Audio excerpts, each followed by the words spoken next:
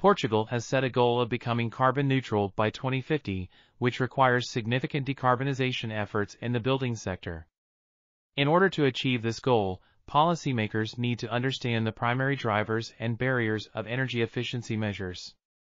This paper reviews existing policies and actions in Portugal and assesses their effectiveness in improving energy efficiency and reducing carbon dioxide emissions in the building sector. The study found that electrifying heating and cooling, implementing energy efficiency measures, and increasing the use of renewable energy sources are all necessary for achieving climate neutrality. Additionally, the study suggests that alternative energy plans could be implemented to reduce investment costs and increase greenhouse gas reductions.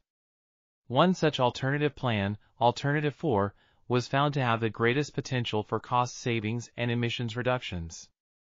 This article was authored by Sara Capelo, Tiago Soares, Isabel Azevedo, and others.